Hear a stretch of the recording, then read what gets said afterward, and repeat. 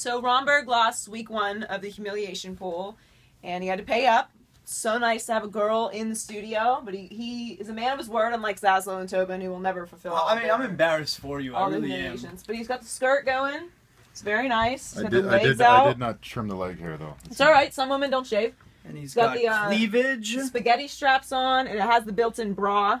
It does. Oh my god. You can hear that. Hold the hold the kids. He's got legit earrings in because his ears are pierced. hmm And he's got his uh, his little bangle bracelet and a clutch. Nice nice clutch. clutch. This could not be comfortable in that armpit at all. No, it's What not. should cop a feel?